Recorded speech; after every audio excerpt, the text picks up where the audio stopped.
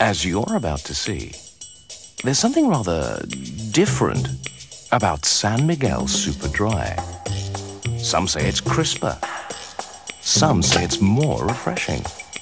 Some say only an experienced beer drinker can appreciate the difference.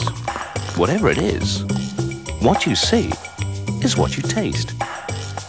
A rather unusual experience. San Miguel Super Dry.